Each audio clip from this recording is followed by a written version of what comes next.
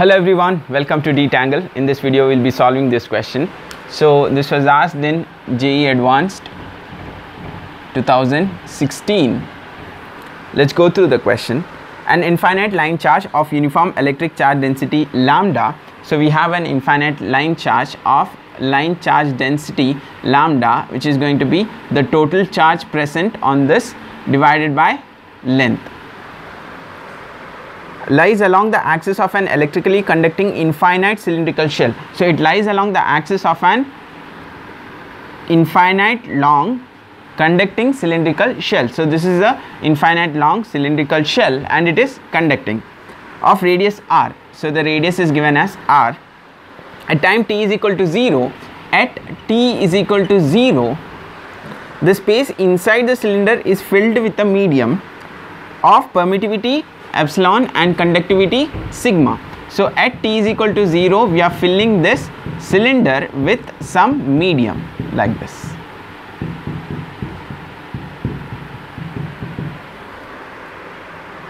The conduction in the material follows Ohm's law. Which one of the following best describes the subsequent variation of the magnitude of current density at any point in the material? So if we take any point in the material, which one of the following graph will show the variation of current density? Okay. So say suppose I am taking this point P. Okay, what will be the variation of current density at this point is the question. So let's see how to solve it. First of all, we must ask why there is a variation in current density. So current density as you know it is current flowing per unit area that is say suppose if I have an area like this how much current is flowing in this is current density. So if there is a current density that means there should be a current flow. So let's see why there is a current flow. It's obvious from the figure that initially the charges are concentrated like this on this line charge. So they are not uh, connected but once you fill this medium uh, fill this cylinder shell cylindrical shell with some medium what happens is the current will flow from the charges will flow from high concentration to low concentration right? So we know that if we have some conductor let's say we put some positive charges here you think the positive charges will stay here? No. Obviously they are going to repel and they are going to go to the surface outer surface where the uh, repulsion is minimum. So the same thing happens. Initially they are crowded here but then once you fill this with some conducting medium the charges are going to come and reflect on the surface. So when that happens so initially initially the density is lambda on this line charge. Final what happens is all the charges would have moved to the outer surface. Final density would be zero. So now we know why there is a current flow. The uh, charges move from high concentration to low concentration. At that moment we'll get a current flow or current density. So we need to know how that current density varies at some point with respect to time and uh, by looking at all this we got a little bit of idea how it is going to vary. That is initially when the charges are concentrated here the current density will be huge uh, high. And once they start uh, decreasing what happens is current density is going to decrease. And once all the charges are coming to the surface there won't be any charges left to move. So current density should be zero. So from that we are getting to know that out of these this graph is not going to work. Why? Because in this even though at t is equal to infinity uh, at a later time there is still some value of current density or constant current flow. We know that doesn't happen. So the all the charges will flow and then it is going to stop. So our answer should lie in any of these three graphs. So now that uh, we have laid a foundation for our question let's just see or uh, let's just get a little bit mathematical so that we'll get to know how exactly it is going to vary. So we have a linear variation and uh, we have some weird kind of variation and we have some exponential variation. Just see how it varies. So for that we need to get a little bit mathematical. So let's start off with equations. We know that. So I need to connect the density with time with respect to time so we know that current density is related to electric field using this equation right? So say suppose I'm taking some point P here. So here I'm going to draw a Gaussian surface like this a cylinder because of the symmetry. And uh, let its uh, radius be r and uh, let its length be l okay so mainly because this outer cylinder is infinitely long so i'm just going to assume another cylinder uh, so that at this point i just need to know uh, i'll get to know how this current density is varying. So we know that current density is related to electric field using this equation and from this we know that j is equal to sigma electric field at this point will be lambda by 2 pi epsilon r. And uh, you know uh, about this equation right? So if you uh, if you are not sure about this equation we just uh, can confirm it. So this uh, we can uh, we get from gauss law. That is say suppose you have an infinite line charge like this and I need to know how to I need to know the value of electric field at this point. I need to know what is the value of electric field at this point. So for that what we do is we assume a Gaussian surface like this a cylinder because of the symmetry and uh, or maybe uh, this distance the distance where you are finding the electric field let that distance be r and let this length be l so straight away I can use Gauss's law. So Gauss law states that the net flux flowing should be equal to 1 by epsilon naught times q and here uh, the net flux I can write it as electric field into area so should be equal to q epsilon naught and electric field into area the area should be the curved surface area. Right all these charges here concentrated charges is going to uh, put out the electric field like this. So the net electric field passing through uh, the net electric field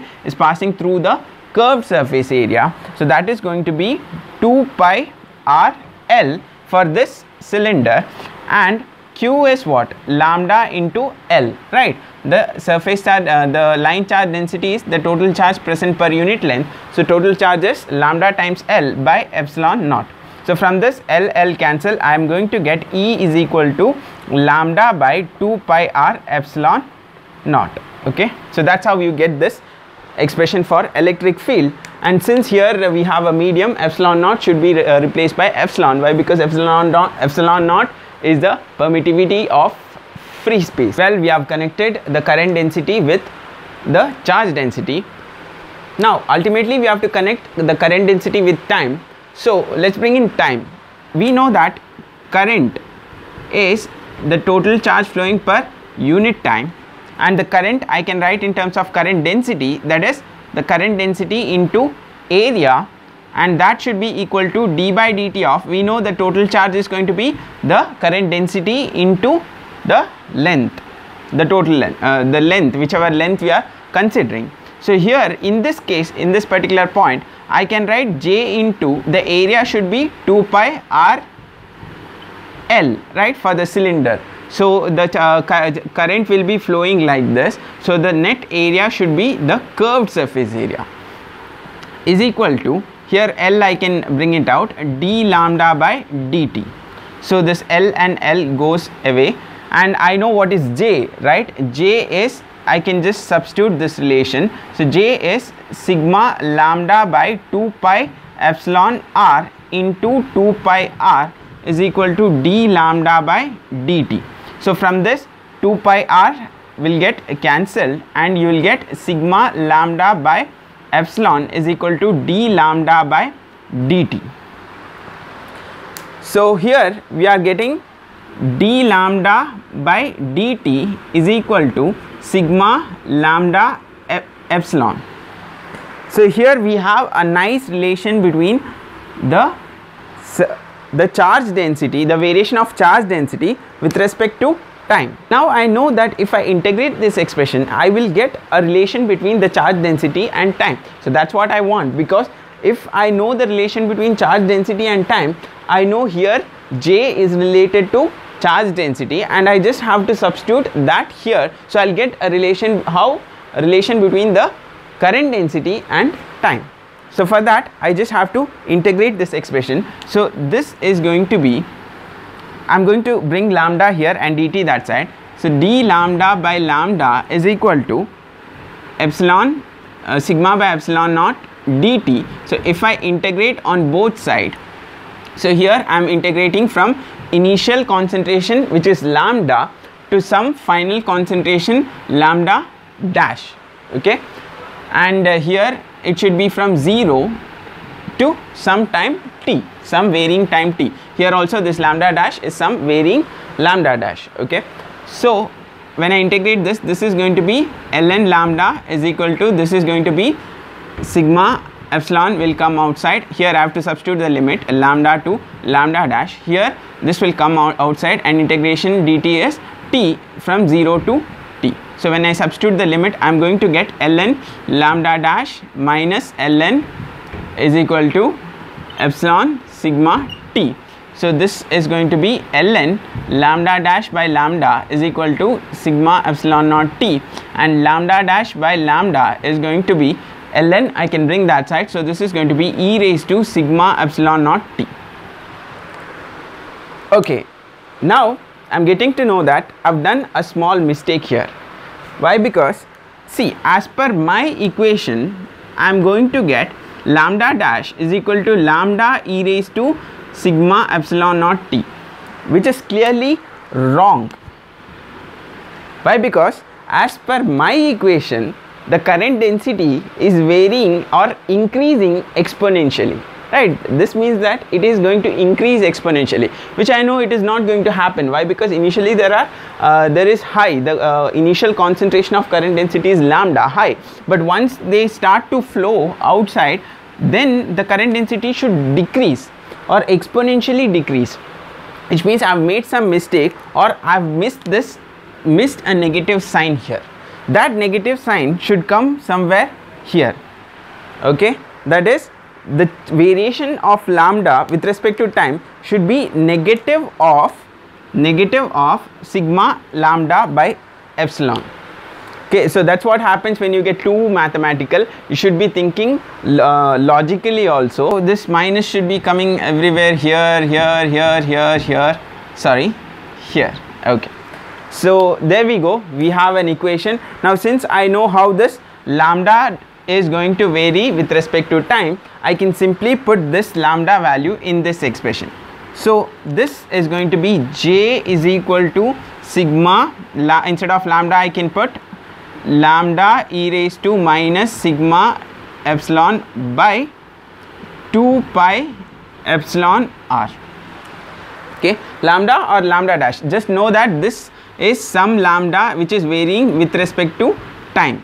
So this is the variation. This is how it is going to vary. So from this if I take all of these to be constants that is sigma is constant lambda initial uh, current density is constant 2 pi epsilon naught r r will be uh, r will be varying I'm sorry. So if I take these terms constants I am going to get and write this as some j naught. I'm taking these terms to be constants and this will be e raised to minus sigma by epsilon t divided by r. So, I am getting to know that the j is varying with respect to time also it is varying with respect to the distance that is here I took at this point r but uh, if I take at any other distance it is going to vary with respect to that also and also the main part is we need to know how it is going to vary with respect to time. And we are getting to know that it is going to vary exponentially or exponentially it is going to decrease. So from this we know that correct answer should be c